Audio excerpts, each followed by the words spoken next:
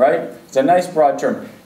And sometimes a cigar is just a cigar. Meaning, I'm not sure if you're familiar with the quote that that's drawn from, but in Freud's language, a cigar actually represented a penis, in case you're wondering, and therefore he thought that there was a Freudian issue with all men smoking cigars. One of the many reasons I don't smoke cigars is the notion that it's actually some sort of deep, vague need to show that I have a penis in my hand is always disturbing.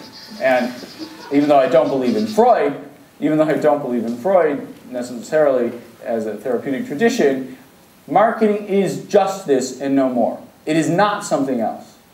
It is nothing more than a communication process. So that's the easy part of this definition. Oh, by the way, you know, I always forget to mention this up front. You, can, you don't have to write any of this down. I'll send you all the slides. I could have said that two hours ago. I'm just not a nice person. I didn't actually mean to forget, okay? Um, in fact, I'll send you, are we, where's my Alex? Are we sending the book? No, you don't get one of those.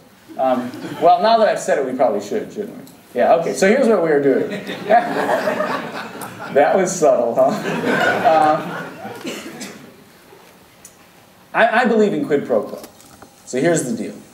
At the end of the day, I will send an email out, and it'll say,